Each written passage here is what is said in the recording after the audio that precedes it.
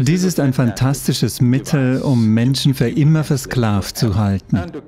Und um das abzudecken, gibt es eine ganze Menge anderer Geschichten, auf die ich nicht eingehen möchte. Phänomenale Werkzeuge zur Kontrolle von Bevölkerungen, die seit langem erfolgreich genutzt werden.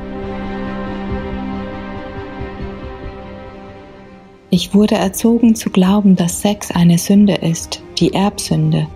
Was ist deine Meinung dazu? Es hängt davon ab, wie wir uns selbst entwickelt haben. Wenn wir wunderbare Menschen werden, ist das eine Sache. Wenn wir aber eine hässliche Verkörperung der Menschheit geworden sind, ist das definitiv eine Erbsünde. Es ist ein Fehler. Sünde ist ein zu starkes Wort. Vielleicht ist es ein Fehler. Es werden also zu viele Fehler in der Welt gemacht, keine Frage.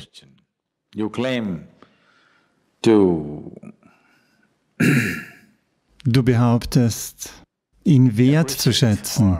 Oder nun, du verehrst den, der als Schöpfer bezeichnet wird.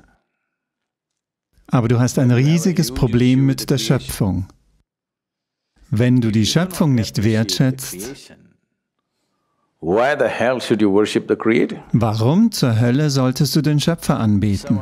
Jemand, der so schlechte Arbeit geleistet hat, der einzige Weg, wie du überhaupt geboren werden kannst, ist durch Sünde. Ich denke, er muss verbannt werden. Nun ist dies ein fantastisches Mittel, um Menschen für immer versklavt zu halten. Wenn du ihnen nicht einmal erlaubst, mit ihrer Biologie zurechtzukommen, werden sie nie mit irgendetwas in ihrem Leben zurechtkommen. Sie werden immer abhängig sein von einer Institution oder einer Person oder jemandem, der behauptet, Verbindungen zu haben.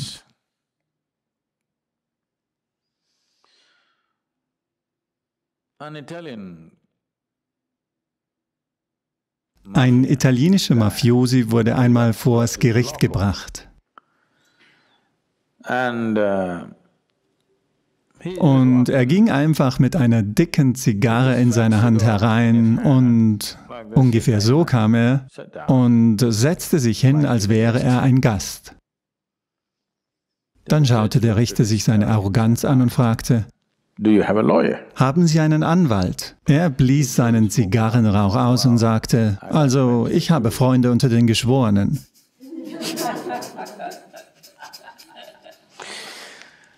So. Also Leute, die vorgeben, Verbindungen woanders zu haben.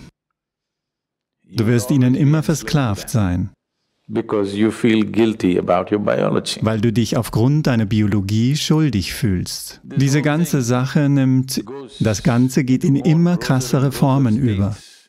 Außer in bestimmten Kulturen, überall sonst, wo dominante religiöse Überzeugungen verbreitet wurden, in all diesen Kulturen lassen sie dich leider aufgrund deiner bloßen Existenz schuldig fühlen. Denn auf diese Weise wirst du immer Sklave dessen sein, was auch immer sie festgelegt haben. Bei etwas so Grundlegendem wie dem Menstruationszyklus einer Frau muss sie sich schuldig fühlen und unrein. Ihre Existenz ist unrein. Unglücklicherweise möchte ich, dass du und alle Lehre der Welt das verstehen. Wenn deine Mutter keine Menstruationszyklen hätte, wärst du nicht geboren, selbst wenn sie deinen Vater getroffen hätte. Yes. Ja. Also das lebenschaffende Material, unbenutzt, ist, was es ist. Und wenn das unrein ist, ist deine Geburt selbst unrein. Das ist, was sie sowieso versuchen dir zu sagen, dass deine Geburt unrein ist. Und um das zu umfassen, gibt es noch eine ganze Menge anderer Geschichten, auf die ich nicht eingehen möchte. Wenn du nicht mit deiner eigenen physischen Existenz zurechtkommst, wirst du im Wesentlichen niemals mit irgendeiner anderen Dimension deines Lebens zurechtkommen. Das selbst wird dich für immer einnehmen. Das ist das ist ein fantastischer Trick, um dich für immer versklavt zu halten. Kein Wunder, dass Institutionen immer noch bestehen.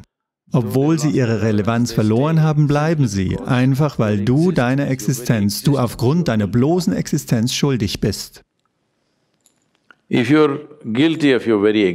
Wenn du aufgrund deiner bloßen Existenz schuldig bist, bedeutet das, dass etwas oder das, was die Quelle der Schöpfung ist, noch schuldiger sein sollte. Du bist ewig schuldig und das, was das alles erschaffen hat, muss noch viel mehr die Last der Schuld tragen. Schuld und Angst sind phänomenale Werkzeuge gewesen, um die Bevölkerungen zu kontrollieren, was seit langem erfolgreich getan wurde. Es ist Zeit, dies zu durchbrechen.